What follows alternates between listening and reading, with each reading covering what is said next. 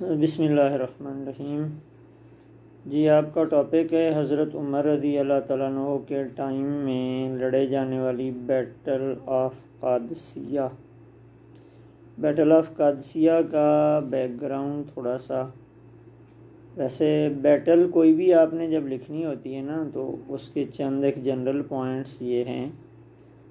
Before the battle during the battle after the battle before the battle में उसके background या reasons आ जाएँगी।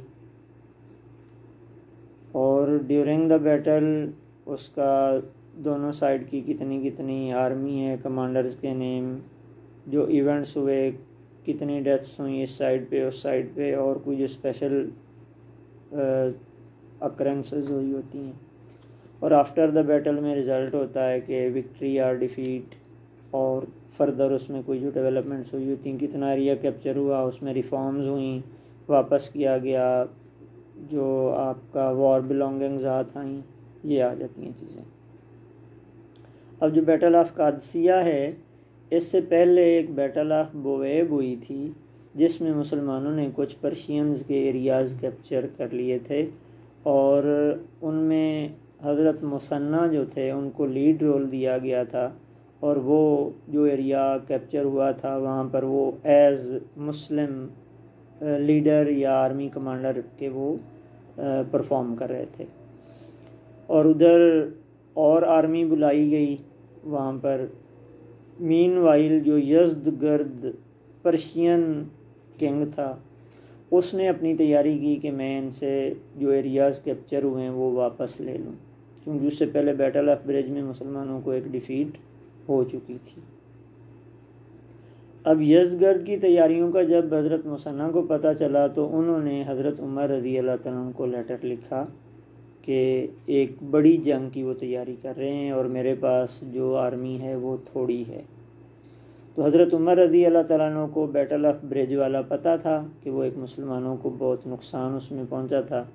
तो हज़रत उमर रज़ी अल्लाह तु ने ख़ुद लीड करने का फ़ैसला किया लेकिन जो मजलस शुरा और स्पेशली हज़रत अली रज़ी अल्लाह ने उनको मना किया कि आप नहीं जाएँ, आप यहाँ रह के लोगों को मोबलाइज करें।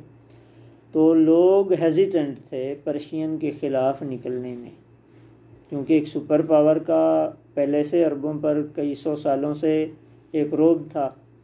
और अब फिर एक जो बैटल ऑफ़ ब्रिज उसमें शिकस्त भी हो चुकी थी।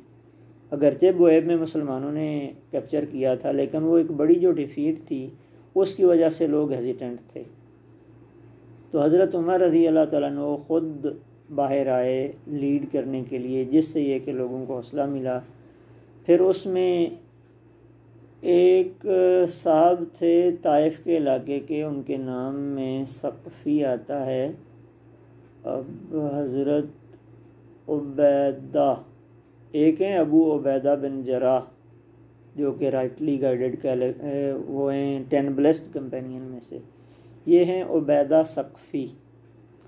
तो ये इन्होंने स्पीच की एक कि मैं पर्शियन को देख लूँगा, जैसे एक होता है आपका बड़ी ब्रेव स्पीच उन्होंने दी, जिससे वो फ्रंट पे उन्होंने कहा, जी, मैं अकेला लड़ूँगा पूरे पर्शिया से, मैं उनको देख लूँगा। तो उसके बाद लोग और भी शामिल होते गए और एक बड़ी आर्मी वो बनी। और हज़रत उमर रज़ी अल्लाह ने हज़रत साद बिन अबी वकास रज़ी अल्लाह को कमांडर मुकर किया और उन्हें कहा कि आप मुसन्ना के पास पहुँच जाएँ। अब वो वहाँ पे चले गए। वहाँ से उन्होंने पैगाम भेजा। पर्शियंस को। उनका जो कमांडर था वो था रुस्तम। तो उन्होंने डिलेइंग टैक्टिक्स यूज़ करने शुरू किए कि एक दिन डेलीगेशन गया है, क्योंकि इस्लामिक प्रिंसिपल ये है फ़ाइट से पहले कि आप अपने दुश्मन से मिलेंगे, उन्हें आप पीस का अपना पैगाम देंगे। फ़र्स्ट ऑफ़ ऑल उन्हें आप इनवाइट करेंगे कि accept Islam then there is no difference between you and us दूसरा, अगर वो ये बात नहीं मानते तो फिर आप क्या कहेंगे कि आप हमें जिजिया दें, यानी हमें टैक्स दें। और अगर वो ये बात भी नहीं मानते तो फिर फाइट होगी। अब ये तीनों चीज़ें उन्होंने उनको बताई, लेकिन उन्होंने इन तीनों को नहीं माना और कहा कि कल बताएँगे, परसों बताएँगे। जैसे एक होता है डिफरेंट डेलीगेशन मिलते हैं, बात होती है, फिर प्रोलॉन्ग हो जाती है।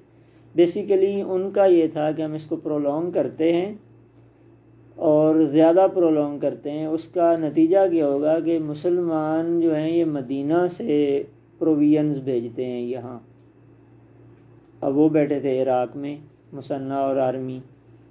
तो उससे होगा क्या? यानी उनको जो स्ट्रेटजी थी तो होगा क्या कि ये इतनी बड़ी फ़ौज को इतना दूर से प्रोवियंस देने में थक जाएँगे, और उसके बाद इनके पास सामान थोड़ा रह जाएगा, हम अटैक करके इनको भगा देंगे। अब मुसलमानों ने जब देखा कि ये हर एक हफ़्ते बाद नए मुजाकर शुरू हो जाते हैं, फिर शुरू हो जाते हैं तो अब उन्होंने भी एक डिसाइसिव रोल प्ले करने का सोचा कि ये आखिरी हमारा डेलीगेशन है, इसके बाद हम इनसे बातचीत नहीं करेंगे। तो हज़रत साद बिन अबी वकास रज़ी अल्लाह ने अपना डेलीगेशन भेजा, जिसमें हज़रत आसिम बिन अमर, वो एक लीड रोल उनका था। उन्होंने अगेन रिपीट की अपनी जो ऑप्शंस थे कि हमारे साथ इस्लाम कबूल कर लें, या जजिया देना कबूल कर लें, या फिर फ़ाइट होगी। अब ये बात मुसलमान क्यों करते थे? इसको मैं इसके से थोड़ा हट के बयान कर दूँगा, क्योंकि फिर ये लंबा हो जाएगा। लेकिन ये आप याद रखना कि इसको मैं अलहदा से आपको बताऊँ। ये क्वेश्चन बनता है कि क्यों भाई वो आराम से वहाँ रह रहे हैं? तो आप उनको जाके कह रहे हैं कि हमारे साथ लड़ो या इस्लाम कबूल करो। कोई ज़ोर ज़बरदस्ती तो नहीं है? तो खैर, ये टॉपिक साइड पे मैं रख रहा हूँ। तो उन्होंने हज़रत आसिम रज़ी अल्लाह तहो के सर पर मिट्टी डाल दी। यानी एक बोरी में मिट्टी भरी या रेत भरी उनके सर पे रख एक नरेशन यहाँ पे ये भी है कि वो जब उनके यहाँ पहुँचे हैं तो गधे पे सवार थे और उनके गधे ने वहाँ पे पेशाब कर दिया था। और इस पे गुस्से में आके रुस्तम ने इसको डिसरिस्पेक्ट समझते हुए वो जगह खुरज के मिट्टी समेत उन पे लाद दी थी। तो अब उसमें कितनी हकीकत है अल्लाह नोज़ बेटर लेकिन ये बात प्रूवन है बाय हिस्ट्री कि उसने मिट्टी की एक बोरी भरी और उनके सर पे रख दी। कि तुम अरब के बदू हमसे बात करते हो वगैरह वगैरह। उन्होंने वो वहाँ फेंकी नहीं, साथ लेके हज़रत साद बिन अबी वकास रज़ी अल्लाह तु के पास आ गए और बताया कि ये उन्होंने हमारी डिसरिस्पेक्ट की है। अब हज़रत साद बिन अबी वकास रज़ी अल्लाह तु ने क्या कहा? आप मोटिवेशन का लेवल देखें और चीज़ों को किस तरह से एक लीडर कन्वर्ट करता है। उन्होंने कहा कि परेशान ना हूँ। जिस कौम ने अपनी मिट्टी आपके हवाले कर दी है, उस मुल्क को कैप्चर करने से आपको कोई रोक नहीं सकता। सॉयल है ना जो उन्होंने ख़ुद आपको दे दी है। अब उस सॉयल पे अल्लाह ताला आपको हुक्मरान बना देगा। तो उसके बाद अब मुसलमानों की स्ट्रेटजी क्या थी कि इन्होंने बोएब का जो एरिया था और उसकी सराउंडिंग थी, जो पर्शियन एरिया इनके कब्ज़े में था इन्होंने वहाँ पर अटैक्स करने शुरू कर दिए। फर्दर क्यों? दिस इज़ द रीज़न कि वो तो इनके कंट्रोल में था तो ये ये क्यों कर रहे थे? अब उनका मकसद ये था कि हम अपनी प्रोविजंस मदीना से मंगाने की बजाय यहाँ से इकट्ठी करेंगे। जब यहाँ से इकट्ठी करेंगे तो जो लोग तो हमारे साथ मिल गए, उनको तो हम पीस दे देंगे। और जो हमारे साथ नहीं मिलेंगे वो पर्शियंस को कहेंगे कि जी हम तो आपके अंडर हैं और ये मुसलमान हमें तंग कर रहे हैं।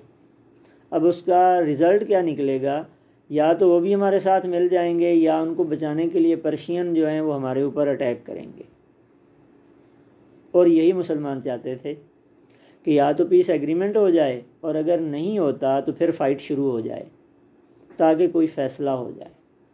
और ये स्ट्रेटजी हज़रत मुसन्ना और हज़रत साद बिन नबी वकास रज़ी अल्लाह की कामयाब रही। जब उन्होंने सराउंडिंग एरियाज़ जो उनके कंट्रोल में थे और जो सराउंडिंग में थे, वहाँ उन्होंने चीज़ें कैप्चर करना शुरू की और फाइट छोटी छोटी शुरू की तो वहाँ रिवॉल्ट शुरू हुआ। उस रिवॉल्ट का मकसद ये था कि अब उनकी हेल्प के लिए रुस्तम आएगा और फिर रुस्तम आ गया। रुस्तम ने आके मुसलमानों को फिर फ़ाइट के लिए बुला लिया कि ठीक है, मैं फ़ाइट करने आया हूँ। लेकिन मुसलमानों ने फिर यही तीन ऑप्शन दिए कि एक्सेप्ट इस्लाम और पे अस जिजिया जिजिया वो टैक्स होता है जो नॉन मुस्लिम मुसलमान रूलर को पे करता है। या फिर फ़ाइट तो रुस्तम ने फ़ाइट चूज़ की। और उसने कसम उठाई सूरज की, क्योंकि वो सूरज की पूजा करते थे, आग और सूरज की पूजा करते थे, कि मैं, मुझे सूरज की कसम है कि मैं तुम अरबों को मारे बगैर नहीं दम लूँगा। खैर फ़ाइट शुरू हुई उसमें one hundred twenty thousand Persian थे ट्वेंटी एट और थर्टी थाउज़ेंड मुस्लिम आर्मी थी। अब इसमें मुश्किल मुसलमानों के लिए ये थी कि पर्शियंस के पास एलिफेंट्स हाथियों की फ़ौज होती थी। और अरबों ने कभी हाथी देखे नहीं थे, और अगर देखे थे तो उनके साथ कभी फ़ाइट नहीं की थी। अब ये एक प्रॉब्लम आया मुसलमानों के कि इनको हम कैसे काउंटर करेंगे? तो वार सिर्फ़ ये नहीं होती कि आप अन्य वाह किसी के गले पड़ जाएँ, आपको स्ट्रेटजीज़ बनानी होती हैं, उनको आपको लेके चलना होता है सो ऑन तो हज़रत साद बिन अभी वकास रज़ी अल्लाह ताला ने दो पर्शियन स्लेव थे जो वार प्रिजनर थे, उसके बाद वो मुसलमान हो गए। एक का नाम था सलम, एक का नाम था ज़ख़म। ज़ाद खैमीम। वो ज़ख़म इंजरी वाला नहीं दखम उनको इन्होंने बुलाया और उनसे पूछा कि ये एलिफेंट्स को काउंटर करने का कोई तरीका है? उन्होंने बताया कि एलिफेंट्स के जो ट्रंक्स और आइज़ हैं ना, ये बड़े सेंसिटिव होते हैं। यहाँ पे इनको कोई इंजरी हो जाए ना तो ये बेकाबू हो जाते तो ये एक बड़ा इनको इम्पोर्टेंट पॉइंट हाथ लगा था। वैसे तो एक पहाड़ सा होता है, आप उसे क्या मारेंगे? फिर इतनी हाइट होती कि घोड़े वाला बंदा उस पर अटैक नहीं कर सकता। हमेशा जो आपसे हाइट पे हो ना, उसका अपर एंड होता है आप पे अटैक करने में। तो इन्होंने तीन लोगों के ज़िम्मे एक टास्क लगा दिया, जमाल, काका और रबी। ये तीन लोगों को एक टास्क मिला कि आपने एलिफेंट्स को किस तरह से काउंटर करना है। तो बाकी आर्मी जो भी स्ट्रेटजीज थी, उनको उन्होंने अलाइन किया अरेंज किया और इस तरह किया कि थोड़े थोड़े फासले पे। मसलन यहाँ पे हैं आर्मी फिर बीच में डिस्टेंस से, फिर पीछे, फिर डिस्टेंस से, फिर पीछे। उससे ये होता था कि दूर से लगता था कि ये बहुत बड़ी आर्मी है। हालाँकि वो खड़े फासलों पे थे। फिर उन्होंने ये किया जो जमाल थे, इनका जो ग्रुप था, इसमें काका का बड़ा बहादरी बड़ी मशहूर थी। और इन्होंने क्या किया कि इन्होंने कैमल्स लिए और उनके ऊपर ब्लैक चादरें डाल दी। इन अदर वर्ड्स के ऊँटों को अबाया पहना दिया। अब उनको ला के इन्होंने आर्मी के पीछे या एक साइड पे खड़ा कर दिया। अब पर्शियन ने देखा, उन्होंने कहा भी ये क्या बलाल है? अब कैमल एलिफेंट से ज़्यादा ऊँचा होता है। जब आप उसकी वो पूरी गर्दन और सारे को कवर करेंगे तो वो हाइट में ज़्यादा हो जाता है। तो अब वो कवर्ड थे।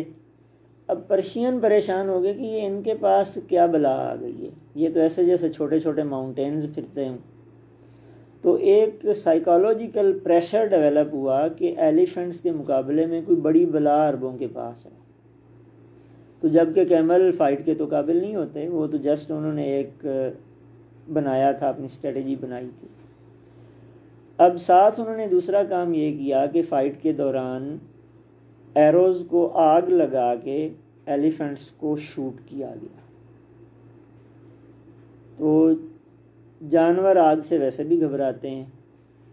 तो अब वो फिर ये कि उन्होंने जो टारगेट किया एलिफेंट्स की आइज़ को, आँखों को किया। और फिर ये जो लोग थे, काका, रबी और जमाल, इन्होंने जो अपना एक इनके पास लोग थे, ग्रुप इनका बना हुआ था, उनको टास्क ये दिया कि आपने एलिफेंट्स के ट्रंक्स, सूंड जिसे हम कहते हैं, उसको काटना है। तो इस तरह ये हुआ कि जो एलिफेंट्स थे, वो उनके बेकाबू हो गए।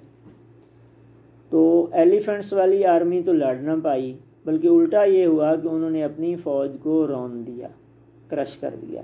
जब वो अनकंट्रोल हो गए। किस वजह से? कि जो फायर वाले एरोज़ थे, जो उनकी आइज़ को टारगेट किया गया और जो उनके ट्रंक्स को काटा गया।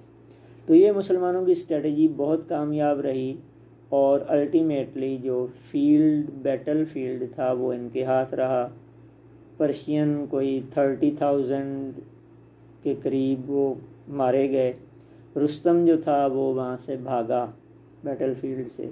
और वो दरिया या नहर क्रॉस करते हुए उनको एक मुस्लिम फ़ाइटर उनका नाम बिलाल था, उन्होंने उनको टांग से पकड़ लिया। यानी जो नहर में से या दरिया में से तैर के भाग रहा था, रुस्तम उनका कमांडर तो उसको उन्होंने किल कर दिया। या लेटर ऑन मतलब कि वो पकड़ा गया और उसको किल कर दिया गया। तो इस तरह जो ये बैटल थी ये ऐसी डिसाइसिव बैटल थी कि जिसके बाद पर्शिया जो है वो स्टैंड नहीं ले सका और अल्टीमेटली फिर पूरा पर्शिया मुसलमानों के हाथ में आ गया। जिस बैटल ऑफ़ कादसिया को आप फाल ऑफ़ पर्शिया भी कह सकते हैं। इससे रिलेटेड फर्दर आप कुछ कहना चाहें?